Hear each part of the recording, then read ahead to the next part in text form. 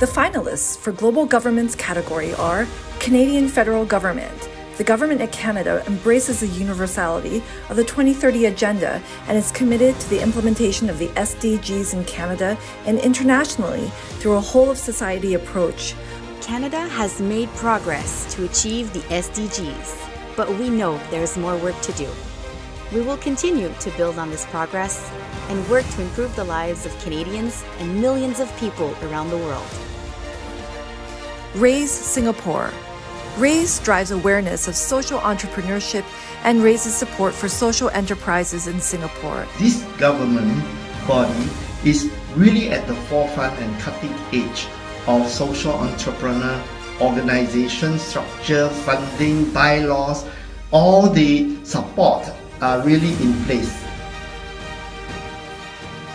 Jordanian Ministry of Culture, Jordan. Ministry of Culture Jordan partners with civic societies to promote and support local solutions developed by proximate leaders for local challenges to help attain sustainable development growth. The Ministry of Culture in Jordan has been a great partner with civic society in promoting and supporting local solutions developed by proximate leaders for local challenges.